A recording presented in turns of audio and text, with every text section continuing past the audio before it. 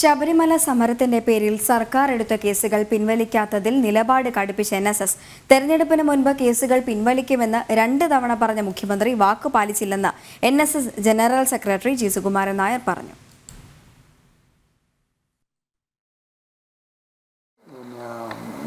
ഞാൻ മുഖ്യമന്ത്രിയായിട്ട് സംസാരിച്ചു.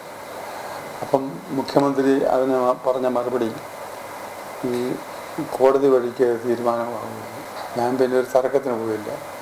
ശരി ഞങ്ങൾ കോടതി വഴി തീർത്തോളാം എന്ന് പറയും മറുപടി പറയുണ്ടായിരുന്നു രണ്ട് പ്രാവശ്യം മുഖ്യമന്ത്രി പ്രഖ്യാപിച്ചു. അത് കുറ്റകരമായ കൃത്യങ്ങൾ ഒഴിച്ചുള്ള ബാക്കിയെല്ലാം പിൻവലിക്കും എന്ന് രണ്ട് പ്രാവശ്യം അദ്ദേഹം പറഞ്ഞു.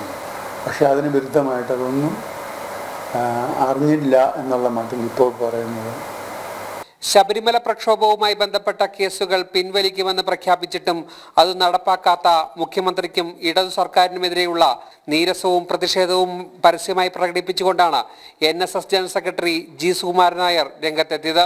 മുഖ്യമന്ത്രിയുടെ വാക്കിന് വിലയില്ല എന്നതാണ് ഇതിലൂടെ തെളിയുന്നത്.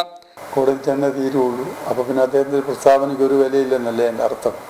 ആ അർത്ഥം അതാണ് ഇപ്പോഴും അതിന് സമൻസ് വന്നുകൊണ്ടിരിക്കുക മനുഷ്യന്റെ കഷ്ടപ്പാട് മനുഷ്യന്റെ ബത്തപ്പാട് അവിടെ പോയി കാവൽ നിന്നിട്ട് ഇവരുടെയൊക്കെ നിന്ന് കണ്ട് ഈ പോലീസുകാരന്റെ തിന്നെ ചെന്ന് നിന്ന് എന്തെല്ലാം ഗതികേടായതിന്റെ ഫലമായിട്ടുണ്ടാകുന്നത്. സർക്കാർ വിചാരിച്ചാൽ നിസ്സാരമായി പരിഹരിക്കാൻ കഴിയുന്ന പ്രശ്നമാണിത്. പക്ഷേ അതിന് പിണറായി വിജയൻ തയ്യാറാവുന്നില്ല. അത് എനിക്ക് പൂർണ വിശ്വാസമുണ്ട് ഒരു ഗവൺമെന്റ് വിചാരിച്ചാൽ അത് പിൻവലിക്കാൻ അങ്ങനെയുള്ള കേസുകൾ പിൻവലിക്കാൻ ഏത് സ്റ്റേജിൽ പിൻവലിക്കാനും പറ്റും എന്ന പൂർണ വിശ്വാസം എനിക്കുണ്ട്. പിന്നെ കോടതി വഴിക്ക് ഒക്കുള്ളൂ എന്ന് മുഖ്യമന്ത്രി പറഞ്ഞു ഞാൻ തർക്കിക്കാനില്ല. ശബരിമല സമരത്തെ അടിച്ചമർത്താനുള്ള സർക്കാരിന്റെ നീക്കത്തിന്റെ ഭാഗമായിരുന്നു വ്യാപകമായി കേസുകൾ എടുക്കുക എന്നത്. എന്നാൽ അതുകൊണ്ടൊന്നും ഭക്തജനങ്ങൾ പിന്നോട്ടു പോയില്ല. സർക്കാർ തന്നെ ഒടുവിൽ മുട്ടുമടക്കേണ്ടി വന്നു.